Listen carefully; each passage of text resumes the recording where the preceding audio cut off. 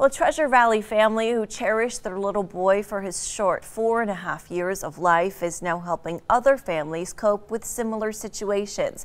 In memory of their son who died last year, they created Corwyn's Cause, determined to bring support and resources to other families trying to navigate through everyday life with a medically fragile child.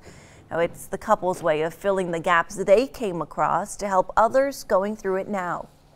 He was medically fragile his whole life, and when we ended up bringing him home on hospice and palliative care, we found that all those charities that come up and visit you at the hospital and bring the superheroes and the blankets and the food, when you come home, that all stops. They're helping families with tedious around the house tasks and lawn care so they can focus on what's truly important. Tune in tonight at 10 o'clock to learn how they're bringing like families together to celebrate this holiday season.